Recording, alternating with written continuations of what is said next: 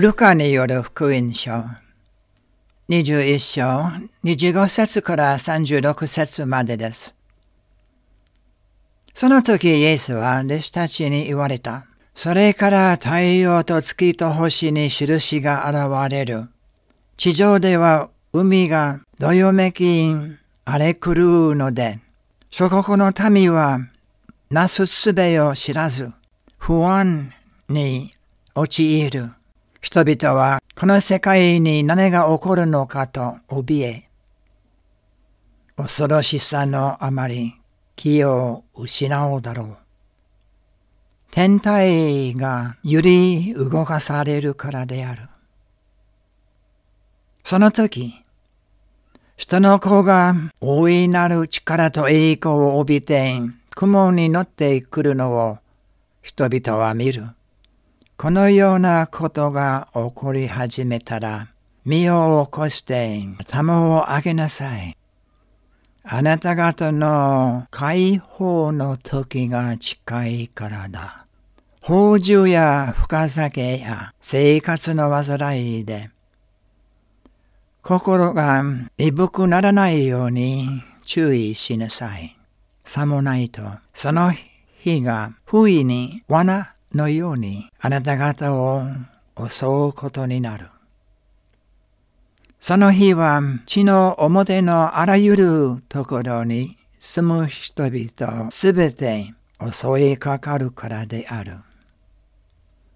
しかし、あなた方は起ころうとしているこれらのすべてのことから逃れて、その子の前に立つことができるように、いつも目を覚まして祈りなさい。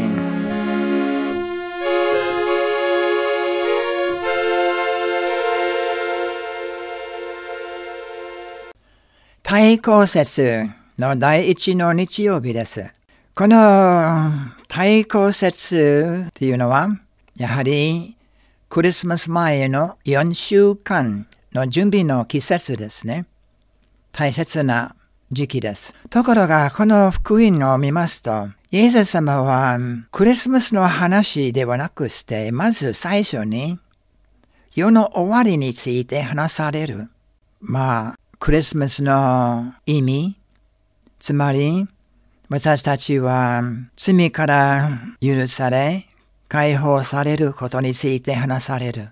そのために心の準備が大切です。それがなければ、恵みのある対抗説にはなるはずがないんです。クリスマスの本当の喜びと意味を味わうことも不可能でしょう。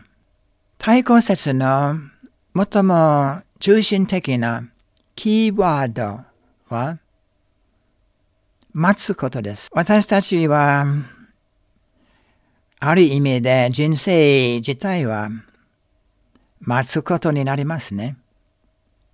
いつも例えば子供がお母様の中にいる時からこの世から去ってゆく時までいつも私たちは何かを待っているんですね。待つこと。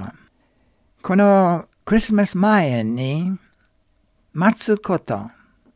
それはキーワードと心に留めてもよろしいかと思います。しかし、待ち方、どのように過ごしていくか、この4週間、対抗節の4週間の間、これは非常に肝心なものですね。まず、自らの人生の待つ、巻き、それよ、あるいは世の終わり、今、イエス様がおっしゃる世の終わりの話は、現在、私たちの目の前に行われているではないでしょうか。本当に人々はいろんな心配を持って、また、やはり不安に陥るんですね。何が起こるかわからないから。でも、それは世の終わりのことです。あるいは私たちの人生の終わりのことであるかもしれません。それも大切ですけれども、私たちはクリスマス前、待つ、待っている。